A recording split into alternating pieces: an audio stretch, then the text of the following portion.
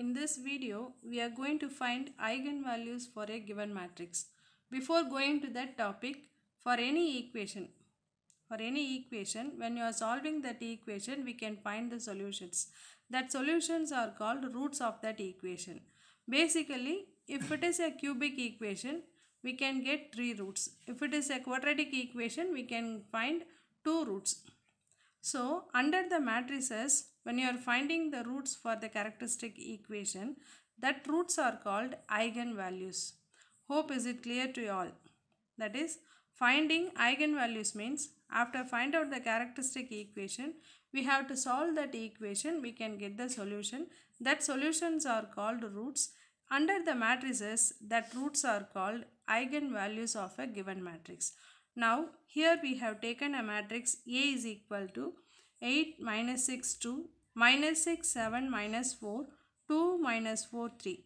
For this matrix, first we need to find the characteristic equation. So as I told you already uh, that finding characteristic equation, that video link is given in the description box. You can refer that how to find out uh, characteristic equation for a given matrix. So as I told already that if it is a 3 by 3 matrix, the characteristic equation is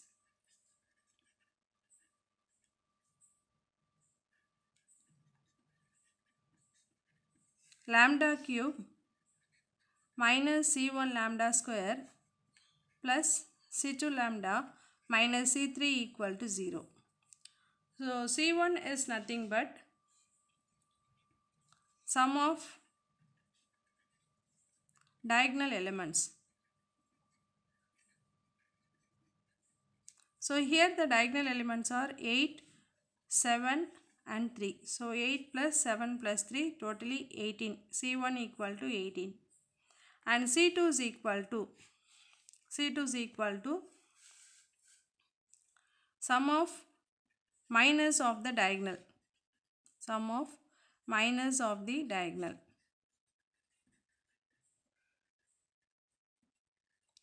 So the first element is 8 corresponding row and column we can omit and take the first one minor. 7 minus 4 minus 4 3 plus. Second element is 7 so the next minor is corresponding row and column we have to omit.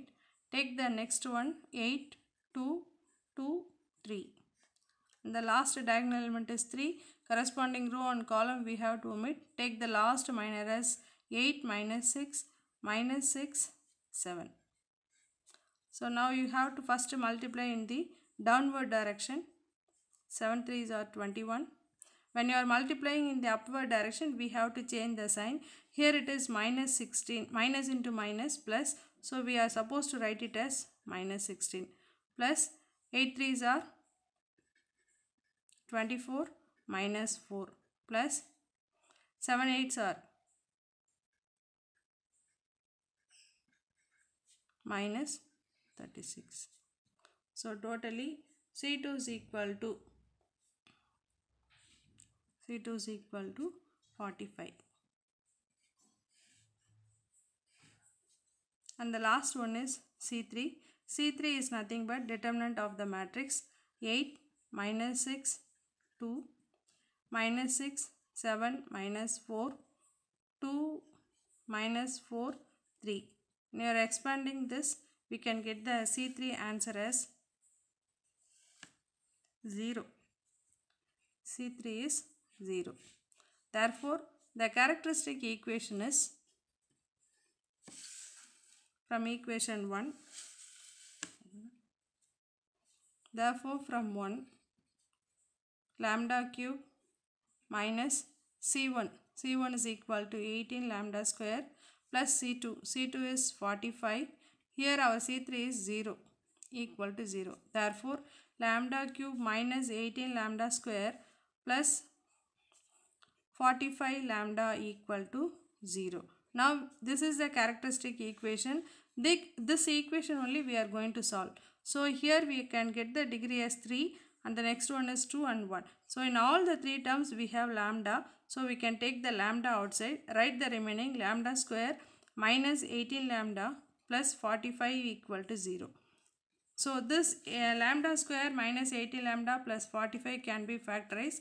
45 so it can be written as 3 into 15. Here it is minus so lambda into lambda minus 3 lambda minus 5 equal to 0. Therefore the roots are lambda equal to 0, lambda equal to 3 and lambda equal to 15. So these are the uh, roots of the characteristic equation. Under the matrices, these roots are called eigenvalues of the matrices. This is the answer for this matrix. There is an another method for finding the solution of this equation because it is a cubic equation. We can go it by synthetic division. That synthetic division, first we need to write the coefficient of lambda cube that is 1. Then coefficient of lambda square is minus 18 lambda and coefficient of lambda is 45. There won't be any constant term so you can leave as it is. Now whenever we are doing the synthetic division we have to put this place as 0 and here we can check it out.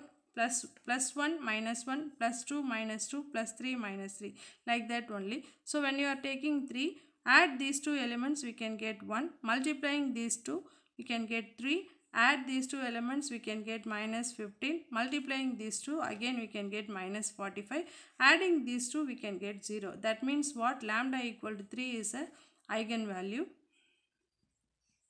Lambda equal to 3 is 1 root.